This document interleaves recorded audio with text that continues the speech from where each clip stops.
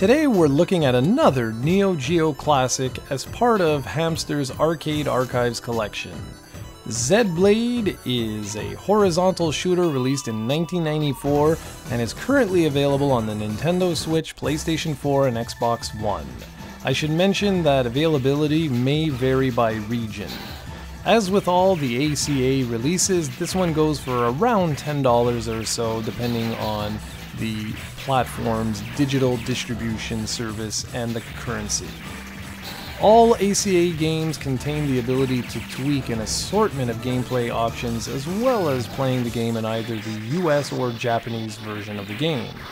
Before we jump into the review, I should point out that when it comes to shoot 'em ups, there are certain ones that I really like and others that I don't find quite as enjoyable. I've always preferred dodging bullets to dodging bullets and suicide enemies. You know what I'm talking about. I'll take a bullet hell shooter over a shooter that has enemies charging me any day of the week.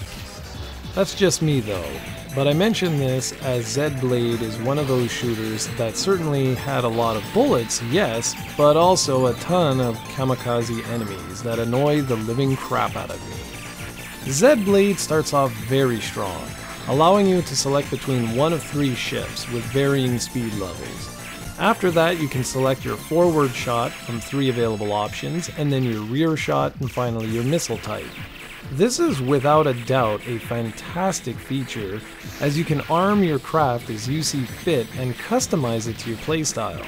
Each of these weapons can then be powered up as you make your way through the game's 8 stages. As you make your way through the game, you're treated to some great electronic dance tunes, which accompany the frantic gameplay rather well. Graphically, the game has some layers of parallax scrolling, which is actually quite nice because there's quite a few different layers, and many enemy craft come into the action by a simple polygon shape, which was rather unique for its time. There's also wonderful use of color for the most part, however, the game's design isn't quite up there with some of the other Neo Geo heavy hitters. The game also takes a hit when there's too much action happening on screen at any given time. The game can actually come to a crawl, although to be fair, it isn't anywhere near as bad as some of the other Neo Geo releases.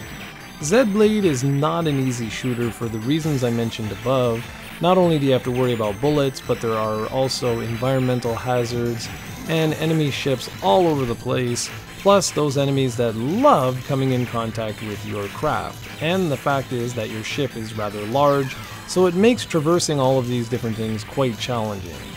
Couple these things together, and you'll be playing this for a very long time if you're after that coveted high score. Thankfully, this is an MVS release, so you can continue forever, but if you increase the difficulty, limit the continues, and try a one credit run, you will see just how punishing this game can get. As a fan of shooters, this one just isn't my style, however, there's certainly a lot of charm to it. The fact you can customize your ships, the nice audio visual presentation, and overall tight gameplay are certainly worth checking out. Heck, you may adore this one if it tickles your fancy. For me, I've got a few other shooters in mind, but first, I'm off to review more Neo Geo classics.